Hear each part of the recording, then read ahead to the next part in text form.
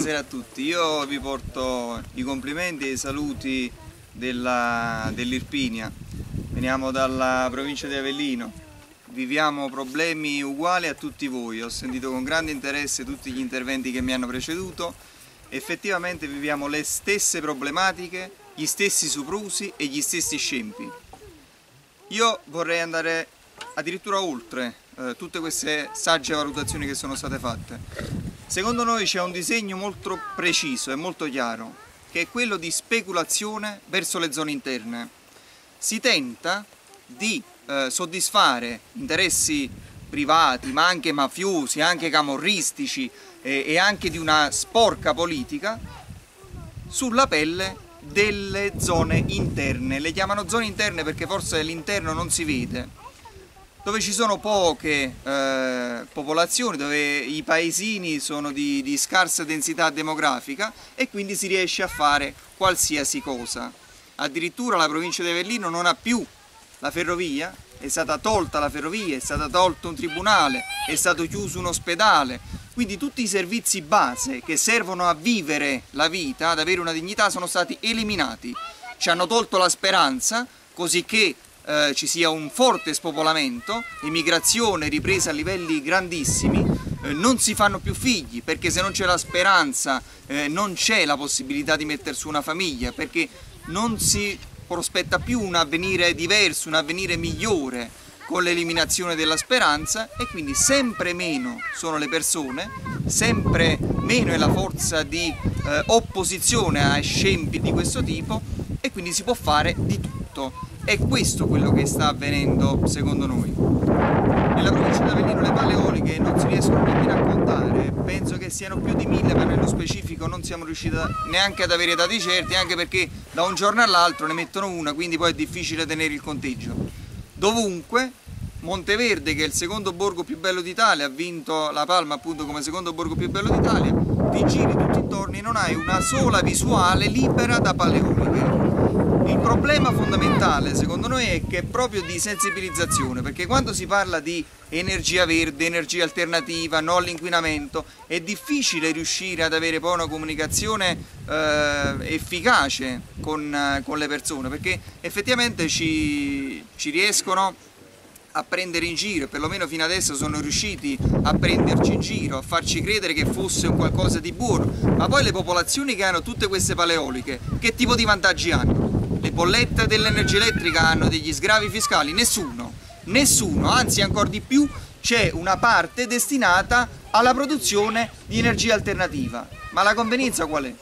La, arriva la paleolica, mettono un parco eolico, il parco eolico è di un privato che ha le autorizzazioni regionali, spesso acquistandole, e poi acquisisce un, i tributi dell'energia elettrica prodotti in maniera alternativa. Prende tutti i fondi che vengono stanziati dallo Stato e dall'Europa per la produzione di energia elettrica la rivende a noi allo stesso prezzo di prima.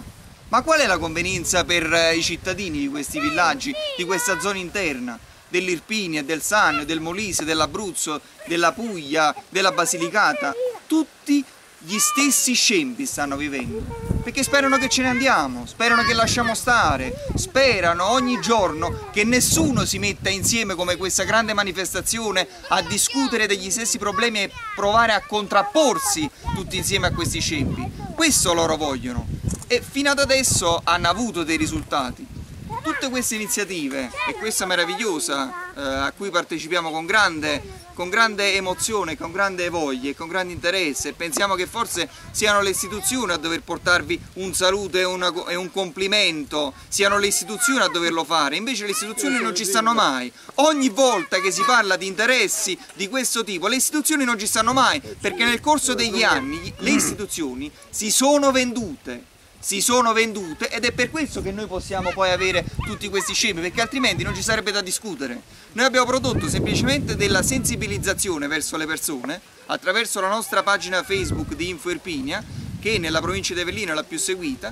Dopo un mesetto è arrivata una chiamata da un avvocato di una società eolica di Padova che ci chiedeva, volendo investire nella nostra provincia a mettere altre paleoliche, che ci chiedeva com'era la situazione io ho detto per non essere frainteso che siamo sul piede di guerra. e loro hanno registrato perché io sentivo che mi stavano registrando. Però immaginare un po' che cosa significa il potenziale di un semplice comitato, di una semplice associazione per loro. Immaginare se le istituzioni avessero fatto le istituzioni, ovvero conoscendo i loro territori, perché questi territori hanno tutti la stessa vocazione, agroalimentare, turistica, paesaggistica ed un avrebbero un grande avvenire però non possono avercelo, perché se dobbiamo girarci una parte e vedere le paleoliche, all'altra e vedere gli elettrodotti, all'altra l'accumulatore, all'altra e vedere il petrolio, qua penso che anche qui ci siano dei permessi che stiano andando verso il petrolio, quindi distruzione ambientale totale, tutti i prodotti tipici che hanno grande valenza anche culturale, perché i nostri nonni hanno lottato e dietro ogni piatto tipico eh, c'è il sudore dei nostri nonni e c'è la storia nostra, tutto quello viene disintegrato come diceva giustamente Pinucci, è quella la nostra vera energia.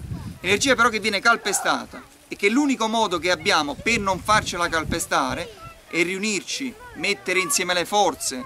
Lo diceva Pinuccio, andiamo in regione insieme, portiamo... Io oggi porto anche il saluto di altri comitati della provincia di Avellino, tipo Comitato No Alta Tensione, eh, Comitato Voria, eh, Comitato contro l'eolico selvaggio, che anche loro sposano totalmente questa causa e quindi è ora di riuscire a dialogare, dobbiamo andare oltre gli steccati politici perché quelli li utilizzano. Tant'è vero che tante paleoliche vengono messe a confine poi senza neanche interpellare la regione confinante, perché loro sfruttano proprio il confine, perché il confine è sentito un po', vabbè, sta, sta, è meno centrale, sta più decentrato, e intanto là però compiono tutti gli scempi possibili.